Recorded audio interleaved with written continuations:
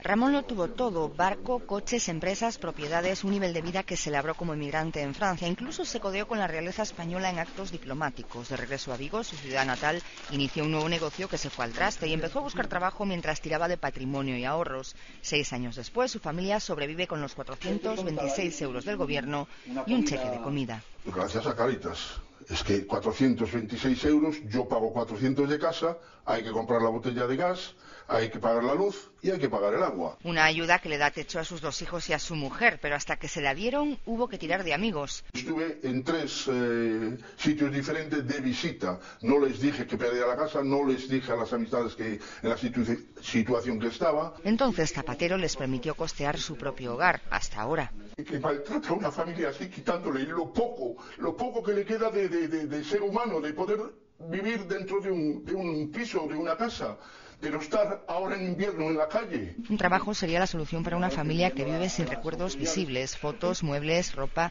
todo lo guarda en un almacén que por impago no puede recuperar. Por eso los niños duermen en una sola cama.